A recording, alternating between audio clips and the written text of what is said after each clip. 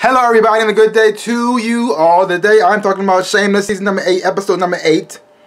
Frank's Northern Southern Express. This episode is directed by Emmy Rossum. That's right. Fiona Gallagher directed this episode. I like when actors direct their own direct their own shows, direct their own episodes, cause they cause they cause they know their character inside and out. She was doing this person for like eight years now, and she knows how she know what Fiona would do. She also understands the other actors and stuff like that she's been working along with, so it, it makes a good fit a lot of times. And I really did enjoy the direction, directorial debut in this episode right here. I'm not sure she she direct any episode before this. I'm not so sure, but I did enjoy this one. Here we have a whole lot of things going down in the Frank in the Gallagher world.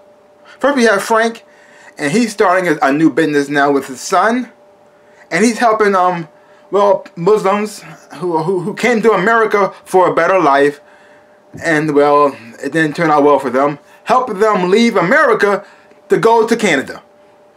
So he's helping them find their better life, not here but in Canada. I mean, he, he lost his, he, he had a, he tried to do the right thing. He got himself a job. Everything was going well. He was moving up quite nicely. He was being productive. And he got, he got laid off because it was, it, it, it, was down all of the stores. And so Frank being Frank, when life gives you lemons, lemons he, he, he finds a way to make some money. It's not legal, but at, this, at least this time, he is helping people. So I guess you can get what you can get. It's not I guess you could say right, but he is helping other, other, other, somebody else other than himself while making a profit along the way.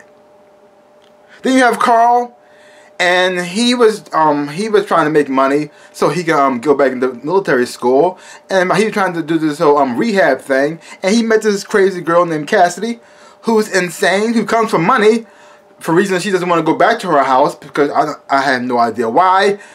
Because from now, I can tell she wasn't beaten or anything like that. She's just a spoiled, rich brat who wants to act out and who's probably insane. So, so she she she wants to stay with Carl because she's the one she wants she don't want, she doesn't want to go back home, and so she pretty much uses her sexual ways to trick Carl to to make her make sure she can stay with him. But she's crazy. She's insane.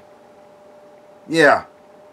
I don't know when Carl going to actually realize that. I mean, he's starting to front out a little bit here, but he hasn't left her yet, so I guess he hasn't learned anything. I mean, he's starting to realize that she's crazy, but he's not smart enough to leave her yet.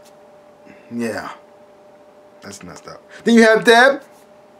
She lost her job, and now she's trying to find ways to earn her earn money so she can finish um her welding school, so she can start making actual money. So she's got she's got to she's got she's got, she's got a little hustle on. She's trying to make sure she's trying to find ways to make sure she can make some cash. But in the meantime, she also trying to figure out if she actually pregnant or not. Because even though she took those little tests and they all said negative, she though she doesn't she, she does she, she doesn't trust she doesn't trust it, and so she asks um Lip to help her out with um, Lip um um decides to help her out with this and takes her to a place where she actually get tested for real.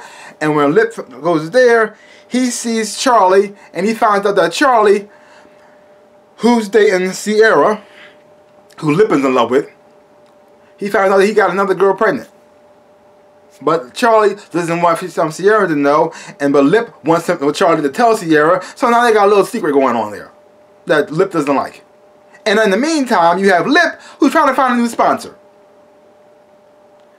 And his new sponsor is um well is gonna be um Leah um Delaney Delana and she also plays on, on Orange is the New Black, and she's gonna be his sponsor. But he didn't like her at first because he pretty much she pretty much told him how it is and what he was doing. He didn't like to hear the truth, so he bailed and tried to find somebody else. Turns out, well, he, she's he's she's the best he can do. Yeah, that he was she was the right choice for him. Then you have what's going on with Ian.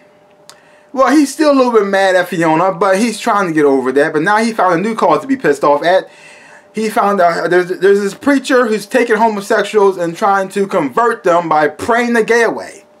Yeah. Why? The messed up part is this actually happens. I don't know what. I don't understand. Anywho, so um, Ian has somebody to let out his frustrations on. And they have their battle of the Bible verses in this episode right here. Then you have Fiona. and she pretty much go out on go out with Ford because Ford really loves architecture. He's really passionate about that. He loves building and stuff like that. So he takes Fiona out there to pretty much show her around show her all the stuff that he, that inspires him that he really likes.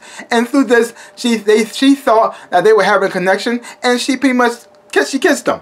He didn't kiss her back.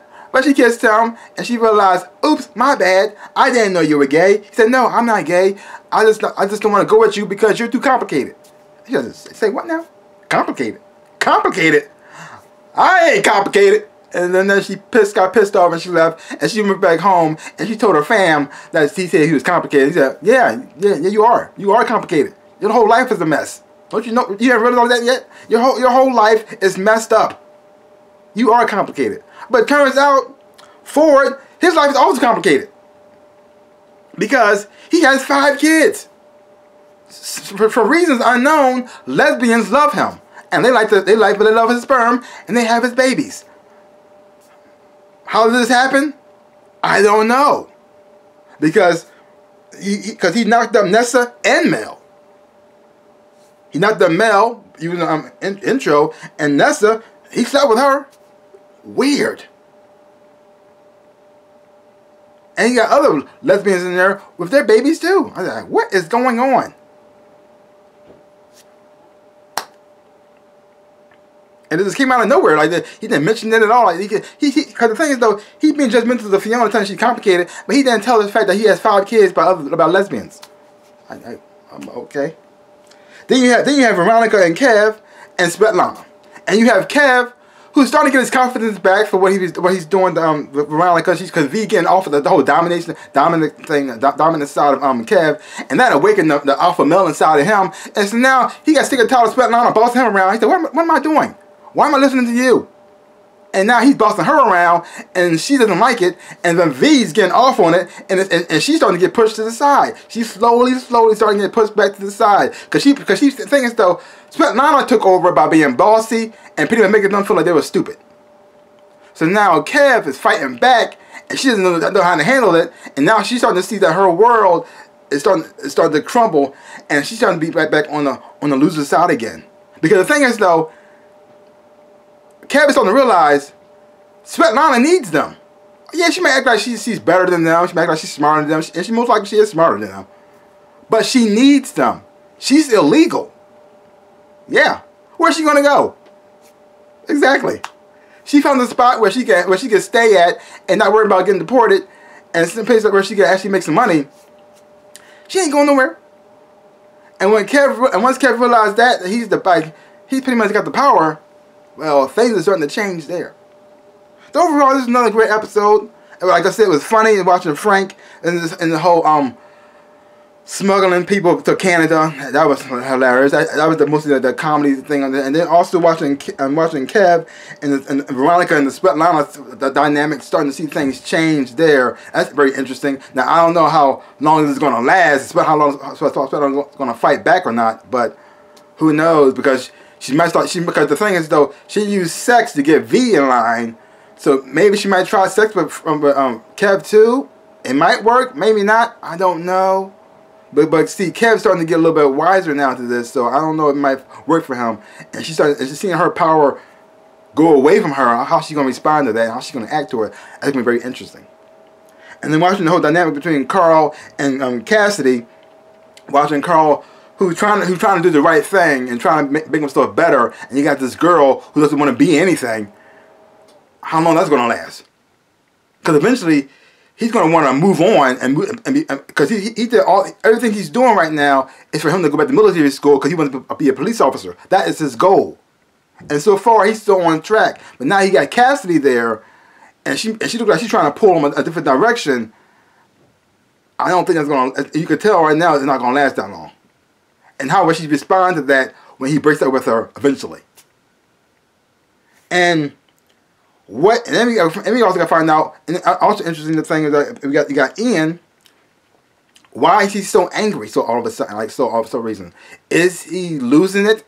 Is, is something something else triggering him? Is medication not working? I mean, what he did was a good thing this time, and he, this time his anger was focused on something other than his sister and he, and he also did something great for a lot of other people. So I don't know. But what's the cause of all this anger? I mean, this time it, I, I, was actually on his side this time. I didn't like the fact he was fighting his sister. I, I, I, didn't like the fact they were butting heads against one another. But this time, I, I'm actually like, on his side as a character. I actually want to see where this goes. Because I don't think I don't, I don't think it might be the last time he faces a preacher. Something tells me that preacher might be gay. Something tells me that preacher is gay. I got a feeling he's gay. He, he's a he's full blown homosexual, and I think that's why I think that's why he's doing this whole conversion whole conversion therapy in the first place. I, think he's gay. That's the theory I have. Like I said, overall, great episode. Really enjoyed it a whole lot. Leave your comments down below. Let me know what you thought about this episode of Shameless. And you got any thoughts or theories yourself? Leave, leave, leave the comments down below. That's pretty much all I got to say about that. To get my channel, the big old like, the thumbs up, mm, boom, and subscribe to my channel and share. I would appreciate it, like I always say, in my dreams and in real life. I am the Ninja Rabbit. Uh, peace out, uh, peoples.